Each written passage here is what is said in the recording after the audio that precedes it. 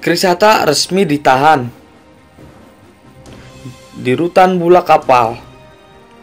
Krisata telah berstatus sebagai tersangka dalam kasus pemalsuan dokumen pernikahan.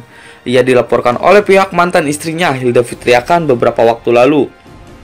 Krisata telah menjalani pemeriksaan terkait kasus tersebut di Kejaksaan Negeri Bekasi. Buntut pemeriksaan itu, Krisata resmi ditahan rutan Bula Kapal. Hal itu disampaikan oleh kuasa hukum Krisata Indah Tarigan seusai pemeriksaan. Kendati demikian, pihak Krisata mengatakan bahwa dirinya siap membuktikan fakta-fakta terkait kasus tersebut di pengadilan nanti. Sementara itu, kuasa hukum Krisata menegaskan bahwa kliennya menerima dengan lapang dada keputusan dirinya harus ditahan